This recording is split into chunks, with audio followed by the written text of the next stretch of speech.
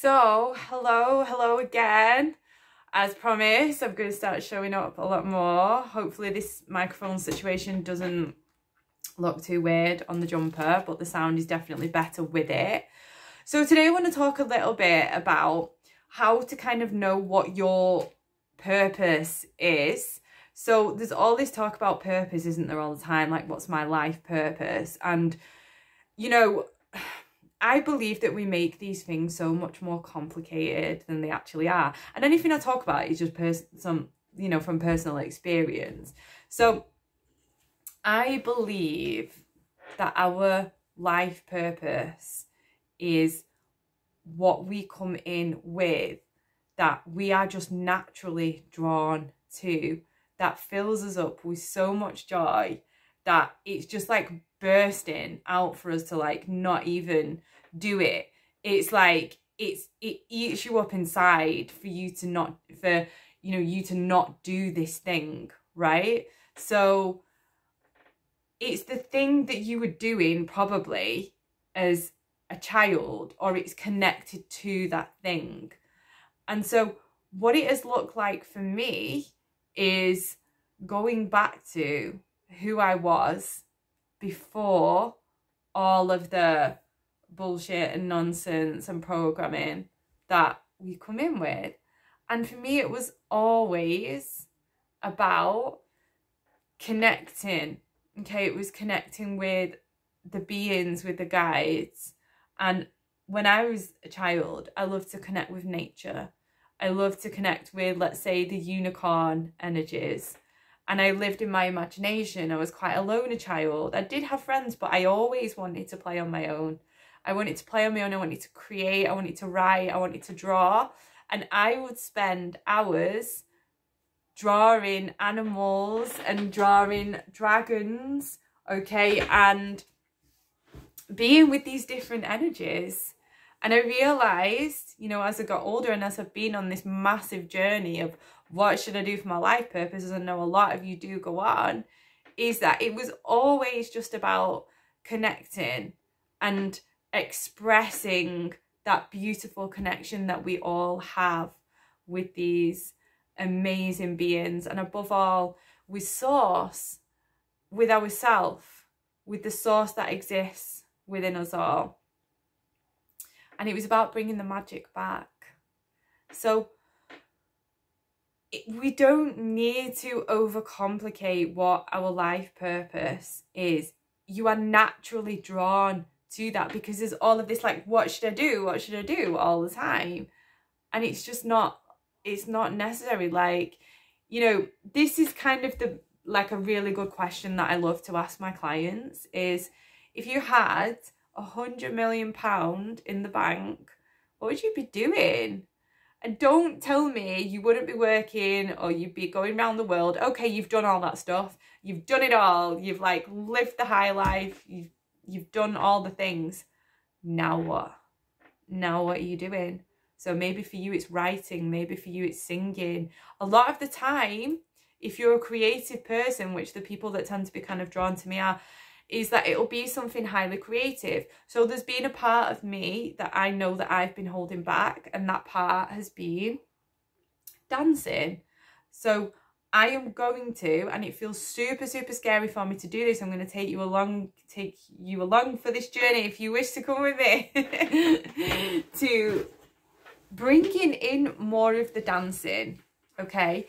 And what I do is I work with light language. I work with light codes and what you could say. This is is this beautiful energy that's being expressed into the physical okay? It's vibration it's frequency being expressed. And it's like you can see this energy okay? You can actually see it because it's being it's being spoken. It's being you know some people express it through art or whatever that is. And for me light language brings the energy of the magic back that i had when i was a child and it helps to connect me with the beings. And the reason why it does this is because it opens up your channeling abilities. So I'll do a little bit for you now. So we'll do a little bit of channeling, a little bit of activating your purpose, going back to who it was that you were before you were told that you couldn't do all of the things that you actually did want to do who who was that child right or maybe there's just an aspect of that child that you need to bring more of into your life right now. So we're going to reactivate that. And i just want you to just invite you to receive it through your heart space okay? So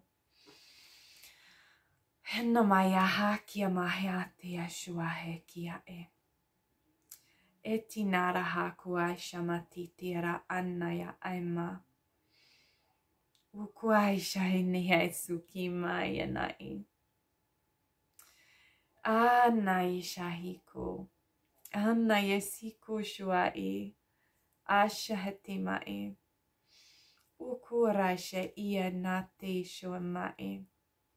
a kunaisha i kumahia sikuturania sikuturania hamasha e yano kuahia sikati shanakati sutera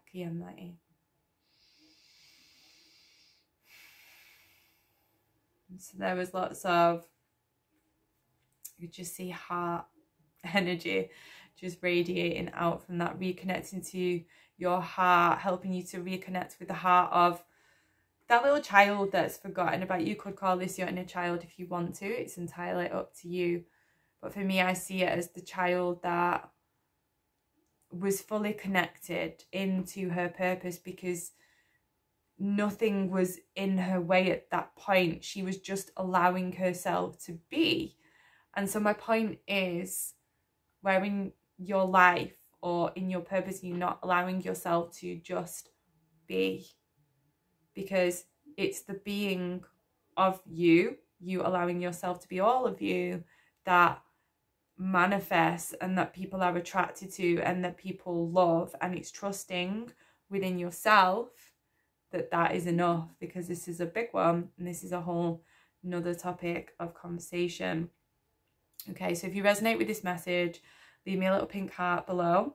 If you would love to find out more about my work, then it's amygoodwincoaching.com. I do offer the time of this recording BQH quantum healing regression sessions. These are multidimensional hypnosis sessions where you can find out about more about who you are as a soul and your life purpose and what it is that you're here to do and all of that.